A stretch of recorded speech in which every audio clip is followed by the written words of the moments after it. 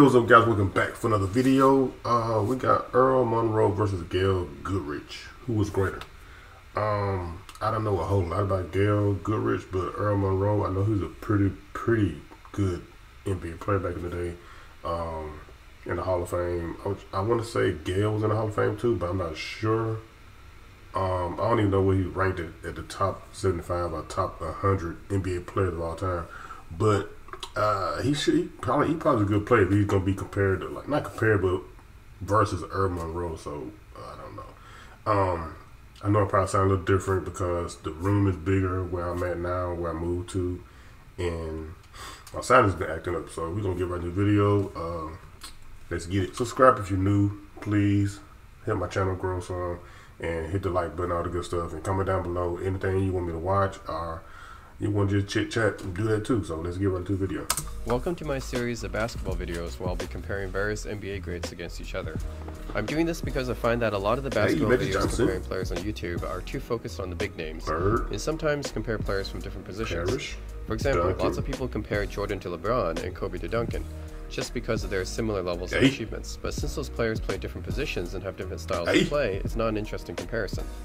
In this series, I Dr. want to do a comparison not between just more well-known players, but players What from days the past, from the 1960s, 1970s, 1980s, and even the ABA as well, that most Joe's modern nervous. fans probably do not have too much knowledge about. Also, as much as possible, I want to compare players that play similar positions and have similar and play styles.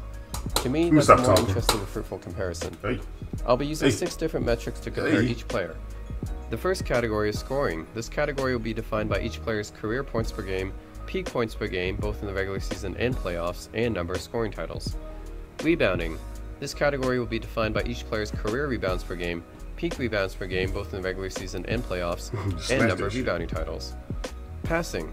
This category will be defined by each player's career assists per game, peak Oh. assists per game, both regular season and playoffs, and number of assist titles. Efficiency and advanced metrics. This category will be defined by each player's career true shooting percentage per. And win shares per 48, both in the regular season and playoffs.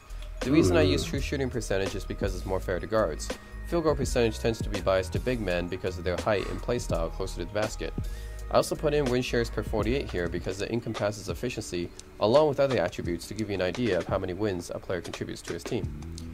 Defense. This category will be defined by each player's all defensive selections, defensive win shares, and defensive player of the year awards.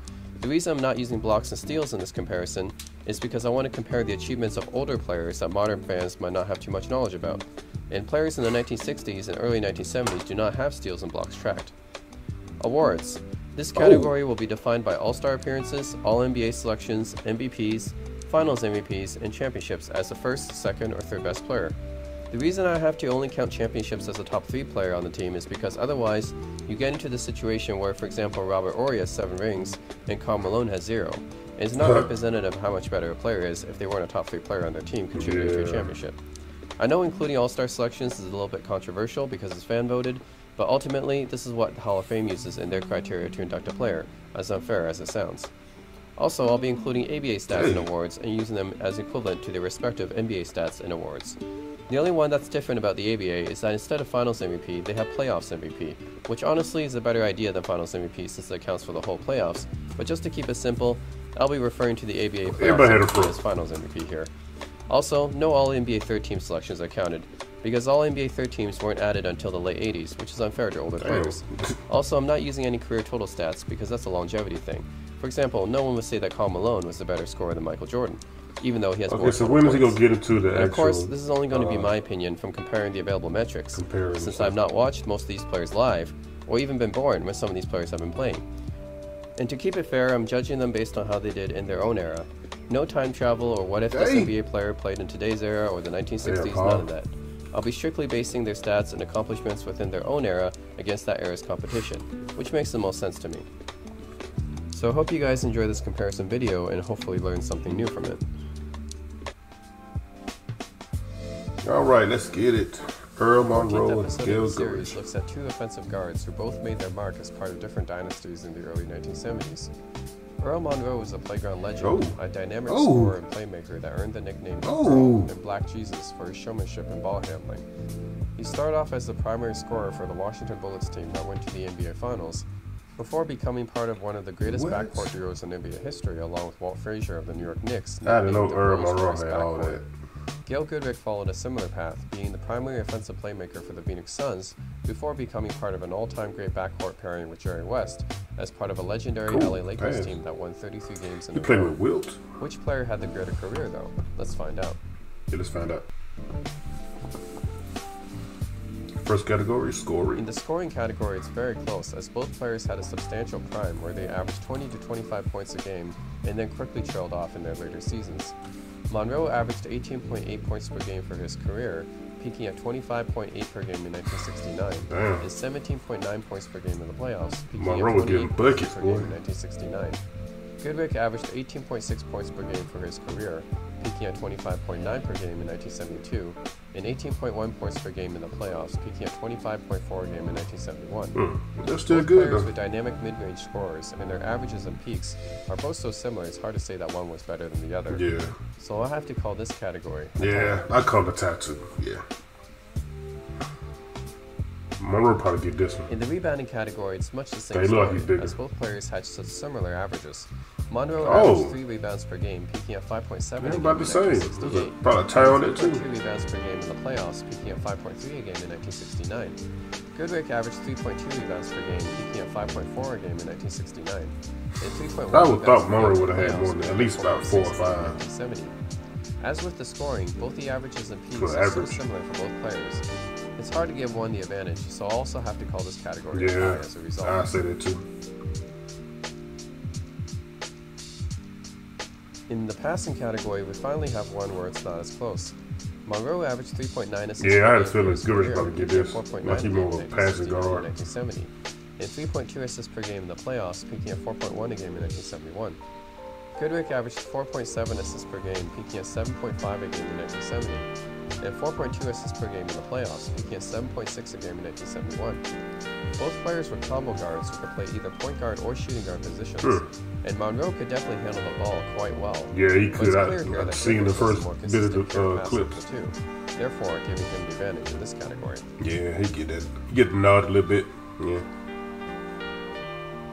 In the efficiency and advanced metrics category, it's pretty close, as both players have almost the same true shooting percentage. Damn, they almost like the same Monroe is slightly ahead in win shares across the board. However, I don't think it's enough to definitively say that he's better, so I'll have to call this category Yeah. a tie. I think almost like the same player. In this category, neither player was well known for their defense, and no all defensive selections for either player are evidence of this. Monroe got this In one. this category, it's very close, but given the fact that Monroe played fewer games than Goodrich while also piling up a few more defensive win shares, I'll give the ever so slight advantage to Monroe. In the awards category, it's very close. Oh Both players have exactly one All NBA First Team selection, one championship as a top three player, and three finals appearances. What makes this comparison really interesting is that two of those three finals appearances and the one championship each player had was against each other. In 1972, the Lakers wow. with Goodrich beat the Knicks with Monroe. In the following season, in 1973, the Knicks with Monroe got their revenge against the Lakers and Goodrich. Mhm. Goodrich has one more All Star appearance, but other than that, their resumes almost mirror each other's. Yeah. It's just too close to call, and this category Yeah. is also Call a tie. tie.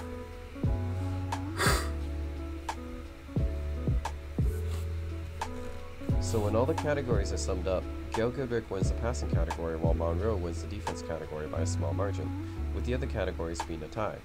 Yet another very close comparison between two all-time combo guards. If I had to pick, I would probably go with Monroe as his prime I would held at much too. I like his style a little better. It's also relevant to consider that most people I talk to who have watched both of these players play say that Monroe was near unguardable in his prime, and the NBA themselves picked Monroe for the 50th anniversary I would- I would believe it. Goodrich off of it. So what do I know? Yeah. Earl Monroe is rightfully remembered as a dynamic scorer and showman who teamed up with both Wes Unseld's Bullets and the Walt Frazier Willis Street Knicks to help them win a championship, while Gail Goodrich, while not as flashy as the Pearl, contributed Nah. by being the leading scorer of the 1972 Lakers, one of the most dominant teams Ooh, in left history, which culminated in Jerry West's goal of finally leading his team to a championship. While they were not the Ah, best players on their championship teams, both players Sorry, should be given more respect as two of the greatest shooting broke, guards in NBA broken history. toe out. Broke two years ago. It still comparison. bother me. Thanks for watching. Be sure to like and subscribe, and stay tuned for the next comparison video. Alright. That's a pretty good video, man. That's a good. I ain't gonna say comparison, but you know, uh, they're pretty much like the same player, man. That's crazy. Um, I kind of like Monroe better because his style of play. I like a little flashy, little flashiness a little bit. Uh, Gail, I like his game too, but he wasn't as flashy as uh, Monroe. But he still could score, pass a little bit. Uh, both, neither one had great defense or whatever. They still, they was all right. Um, but let me know what y'all think. I know most of you uh, guys that uh, are older than me. Y'all probably seen these guys before in action, uh, whether it was on TV or y'all was at the game. Uh, let me know, let me know y'all y'all comments about this and um, y'all opinions and um, yeah, Chris Webber versus Spencer Haywood. That's a I don't know. I might watch that next. I don't know. Maybe I will. Maybe I won't. I don't know. But uh, thanks for watching. Subscribe if you're new. Hit the like button, all the good stuff, and um, I'm out. Peace.